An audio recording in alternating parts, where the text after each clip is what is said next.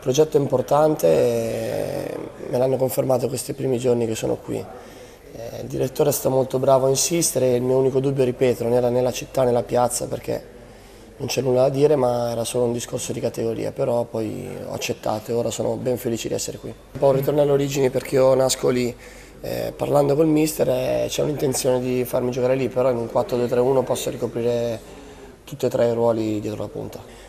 Tutti i cittadini di Arezzo e vedremo, noi sicuramente l'Arezzo entrerà in campo per vincere tutte le partite, poi il calcio è fatto di tante cose e si vedrà quel che succederà.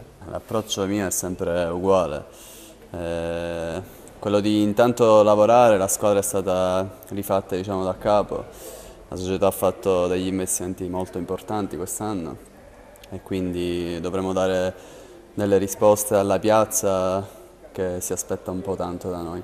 No, eh, lo scorso anno il campionato non è finito bene quindi siamo noi chiamati a riportare l'entusiasmo in questa città che merita comunque palcoscenici importanti eh, ti ripeto, la squadra è stata fatta da capo, ci sono giocatori forti quest'anno, come ce, ce n'erano pure l'anno scorso, però diciamo che c'è più esperienza quest'anno rispetto all'anno scorso. Ho giocato pure con questo modulo, io mi metto a disposizione dell'allenatore, gioco pure in porta.